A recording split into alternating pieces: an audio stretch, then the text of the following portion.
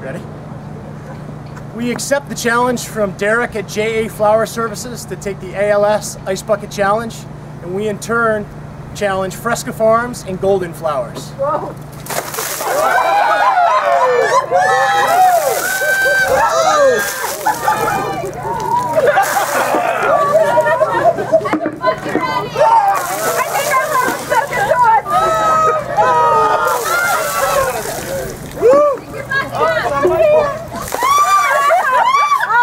Hearing it is awful.